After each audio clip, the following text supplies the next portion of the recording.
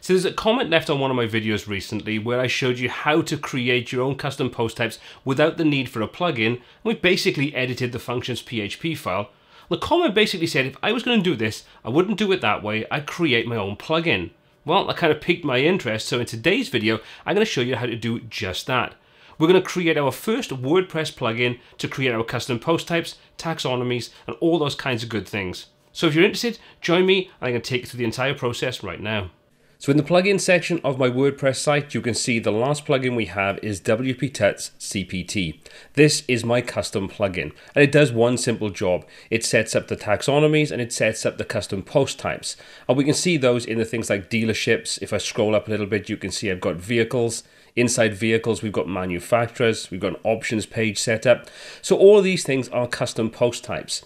The reason why I've put it into a plugin is something that was suggested, which makes a lot of sense.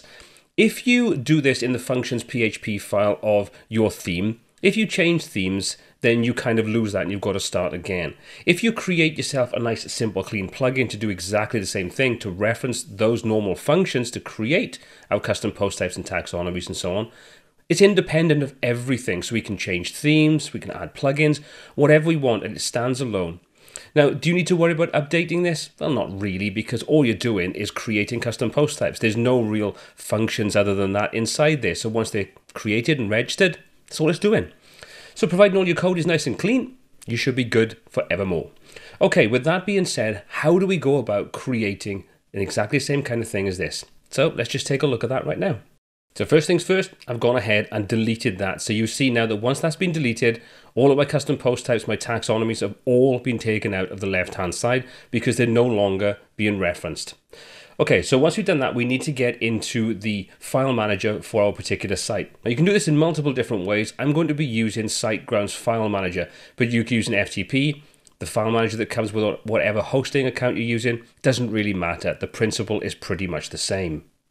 So we're in the file manager now of my particular site inside SiteGround. So what I'm going to do is open up the public HTML folder, which is where all of our site structure resides. And inside there, we're going to have a couple of folders. We're going to have WP admin, content, and includes. If we open up the WP content, inside there, we're looking for the plugins folder. So all we need to do is click on that, and that will open up and load in all the plugin folders we have set inside this particular site that we're looking at. So if we scroll through, you can see there's all of the different folders. So what we need to do now, first of all, is create the folder for our plugin and just basically give it a name. So what we're going to do is create a new folder. We're going to call this WP Tuts-CPT. So we know exactly what it is. So we'll click on confirm. We've now created the folder to put any files we want to work with inside there. So let's just open that up. Just double click to go into it and we have an empty folder obviously. So the next thing we're going to do is create a new file. So this needs to be a PHP file and we're going to call this again wp-tuts-cpt.php. So that's going to be the file that's going to contain our functions and all those kinds of good things. Click on confirm. We now have our file. So all we need to do is click to edit that and we've got a blank file. Now, there's various different things you can put inside here, but it's bare, bare minimum, we just need to do this. We need to open the PHP tags, and then everything that comes after inside this forward slash and the start is just basic information. So you can see by default, all we really need to put in is the name of the plugin. So we can just say this is WP Tuts CPT. Okay, so let's just get rid of that full colon, full stop in there. So that's all we need to do. We've basically created the most important file, in this case, the only file we need. So once we've done that, we now need to put some functions in there. So how do we get these functions? Well, you could write them yourself, and if you're more than comfortable working with that, you probably don't need to follow along with this tutorial because this is going to be way too basic for you. But for most of us that don't really need or know how to write the entire code out, there's a couple of ways in which we can kind of cheat and make our lives a lot easier. So I'm going to show you a couple of those right now. So the first method, and I've shown this before in another video tutorial on how to basically do away with plugins to create your custom post types, is to install CPT UI, set up your post types, set up your taxonomies and everything you want to create inside there, and then we can output that code. So I've got a duplicate site here with CPT UI installed. And all I need to do is come into the tools section and from there we can come out to the get code option and each one of our taxonomies, each one of our custom post types, all of the code that's relevant to that is inside each one of these individual boxes. What we could do is we could copy that over into a text file and then just paste that into our newly created plugin PHP file. So that's the first way in which you can do it. If you don't want to go to the time and effort of actually installing a plugin and then deactivating it afterwards, just in case you leave anything behind and you don't want to do that, there's a couple of online resources you can do pretty much exactly the same thing. So first of these online sites is Generate WP. Generate WP has a lot of free options. There are some paid for options. If you want to get full access to it, by all means go ahead and do that. But if all you want to do is create taxonomies and custom post types for your custom plugin, they're free. So what we could do is we can easily come in and we can say we want to take a look at content, for example. And inside the content section, we're going to have the shortcodes generator, post status generator, post type, taxonomy generator. If we come and take a look at admin, you can see inside there we've got settings, we've got quick tags generator, a ton of different options. The second one we've got access to is Hasty or WP-Hasty. And this basically does the same thing, it's just visually slightly different. So if we wanted to come in and create our new custom post type, well, we can do exactly that. We've got custom post type generator, we can click inside there, and then what we have is a list of questions that we need to fill out and sort of checkboxes and stuff like that. And you can see on the right hand side, it'll show all the code. Now this is pretty much identical to what CPT UI would do if you used the first method I showed you. But what you can do is you can fill out all the relevant information inside here, then simply copy the code over for all of the post types you want to create and all the taxonomies you want to create as well. I'm not going to go through showing you how to set these up because every use case is going to be different. But if you'd like to see some tutorials on these two websites and how to use them, let me know in the comment section below and I'll take a look at putting some content together to show you exactly how to use those specific websites. Okay, so let's just say now that you've got the code that you want and you're ready to actually start creating your new custom plugin. What's next? Well, we need to go back into the file manager and from there we now need to copy that code that we've just taken from any of those methods I've just shown you and drop that into our text file, our PHP file. So I've gone ahead and done that. You can see there's all of my code. So all I need to do is copy this from the function section at the top right the way down through. So what we're doing is we're just copying already predefined functions to create and set up our custom post types and our taxonomies.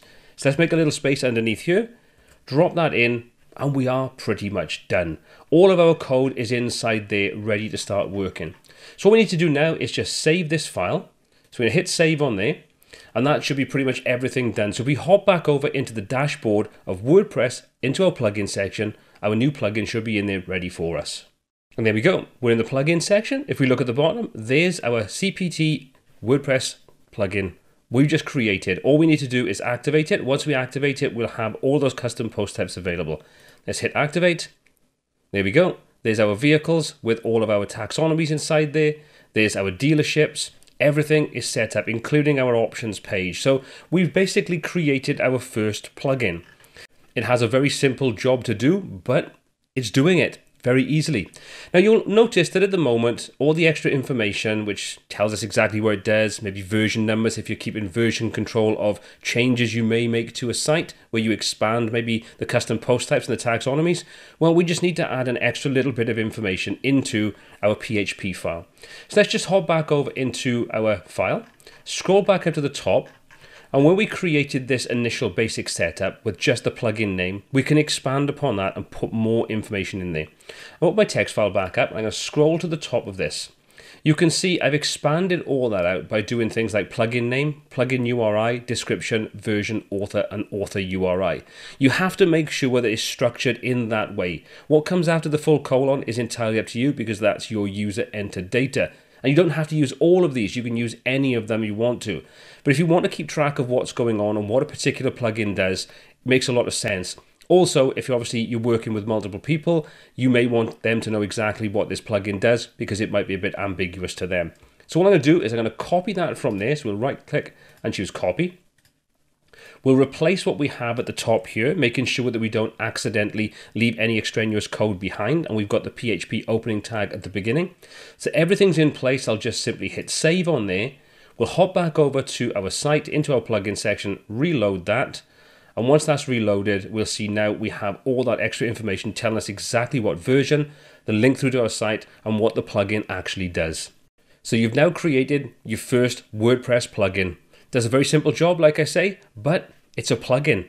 So what I would always suggest is if you are going down the route of creating or using functions, maybe for things like WooCommerce, where you want to change the way that works, anything that's not basically using the theme functions file, maybe create a little plugin like this just to make your life a little easier. You could even create a global plugin that's just, for example, WP Tuts you know, sort of customization codes.